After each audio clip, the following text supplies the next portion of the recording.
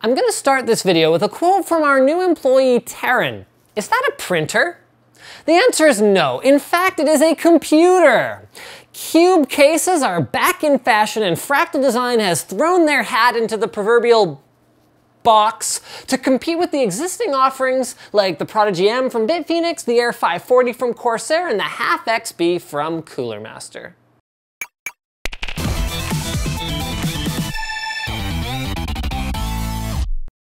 The CM Storm SF17 uses a massive 18 centimeter fan to cool your gaming notebook, and it adds a 4-port USB hub. Click now to learn more.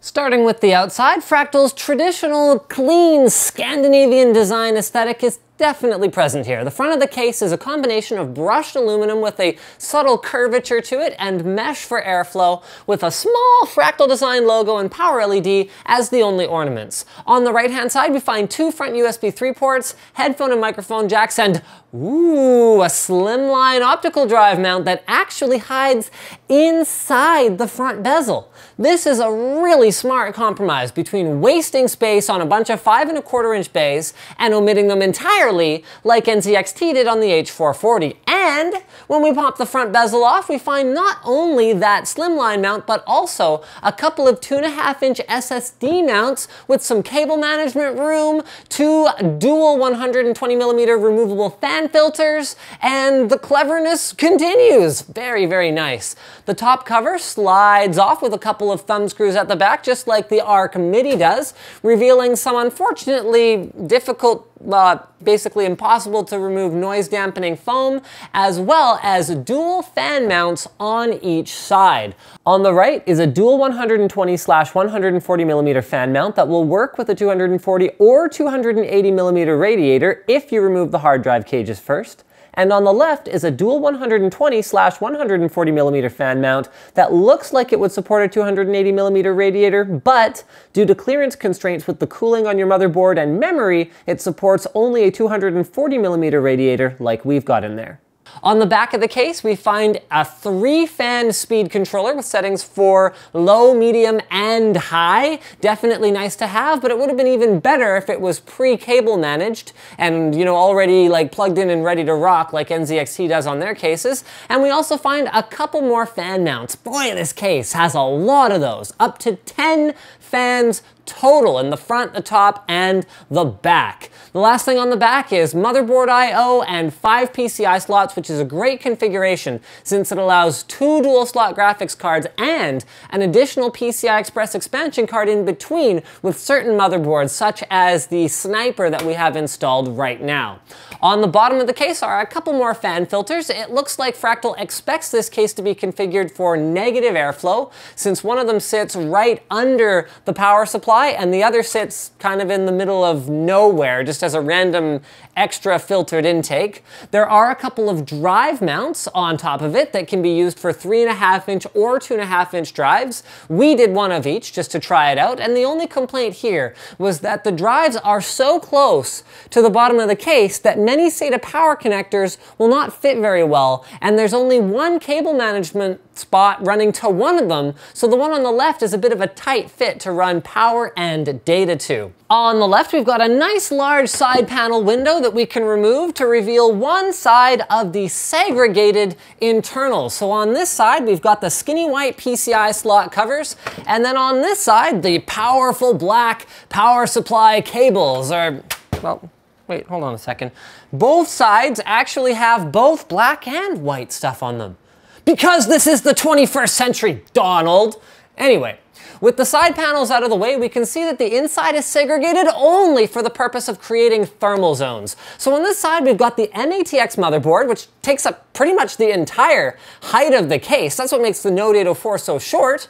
Those two drive slots that I talked about before, and our AIO liquid cooler that fits, but required us to swap low profile memory for the dominators that we had planned to use. The design is actually similar to other cubes, but the cable management choices that we can see here seemed a little bit odd. We've got these two massive holes on the right and at the bottom, which combined with the large CPU cutout at the back weaken the motherboard tray significantly. Then along the bottom, we just get zip tie mounting points instead of additional holes for front USB, audio, and the like. I'd have rather seen Fractal include smaller holes for the 24 pin and video card connectors and use that extra strength to put in some other strategic mounting holes instead. Moving over to the back side, we've got room for as long a power supply as you could possibly want and some cool Velcro tie downs in the cable management zone that reveal another reason I might like to have smaller grommeted holes on the motherboard tray so I could keep this rat's nest out of sight.